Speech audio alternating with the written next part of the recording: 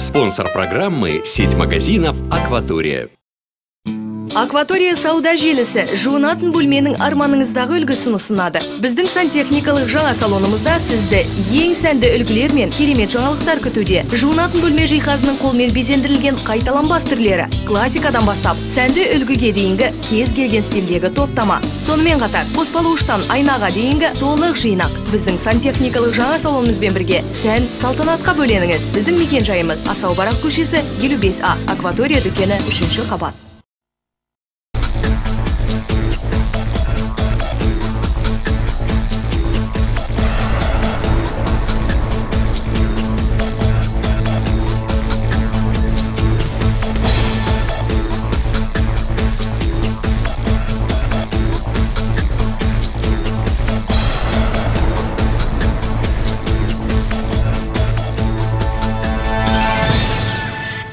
Здравствуйте, с вами пресс-новости. Пресс-секретарь президента России Дмитрий Песков сообщил, что встреча Александра Лукашенко, Нурсултана Назарбаева и Владимира Путина перенесена. Ранее встречу планировалось провести на этой неделе. Действительно, лидеры трех государств приняли решение перенести намеченную в Астане встречу на несколько дней, приводит коммерсант слова господина Пескова. Ранее сообщалось, что 12-13 марта господин Путин посетит Астану по приглашению президента Нурсултана Султана Назарбаева для участия в трехсторонней встрече с участием президента Беларуси Александра Лукашенко. Еще двое подозреваемых в убийстве политика Бориса Немцова обжаловали свой арест, сообщила пресс-секретарь Басманного суда Москвы Анна Фадеева. В суд поступили жалобы от адвокатов Анзора Губашева и Рамзата Бахаева, передает РИА Новости ее слова. Эти жалобы будут рассмотрены в Мосгорсуде. Ранее сообщалось о жалобе на арест другого фигуранта дела Хамзата Бахаева. В настоящий момент по делу об убийстве Бориса Немцова арестованы пять человек. Хамзат Бахаев Бахаев, Заур Дадаев, бывший заместитель командира батальона «Север» внутренних войск МВД Российской Федерации, Анзор Губашев и его брат Шагид Губашев, а также Тамерлан Эскерханов. Ранее Заур Дадаев признал свою вину, а затем заявил правозащитникам, что не совершал преступления.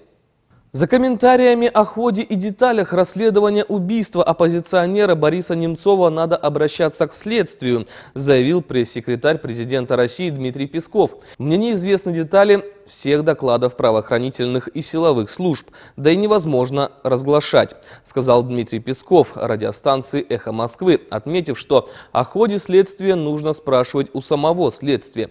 При этом пресс-секретарь российского президента добавил, что вопрос о существовании некого некого расстрельного списка, в который якобы включен ряд российских политиков и журналистов, абсурден. На фоне обнаружения американскими разведслужбами того, что за последние дни новые российские танки и артиллерия пересекли границу с Украиной, президент Обама оказался под усиливающимся давлением обеих партий и большого числа чиновников в собственном правительстве, требующих поставлять в эту страну оружие. Но он по-прежнему не убежден в том, что это поможет, пишет Нью-Йорк Таймс. Однако президент дал понять в частном порядке, что несмотря на прессинг, он по-прежнему сомневается в необходимости данного шага.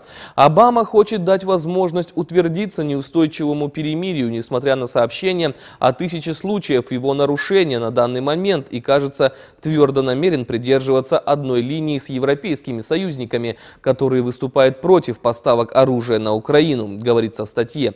За последние несколько дней мы можем подтвердить новые поставки российских танков, бронемашин, тяжелой артиллерии и ракетного оборудования через границу сепаратистам на Восточной Украине, заявила помощник госсекретаря Виктория Нуланд. По словам Нуланд, внутри администрации идут горячие споры о том, посылать ли оружие на Украину и что решение пока не принято.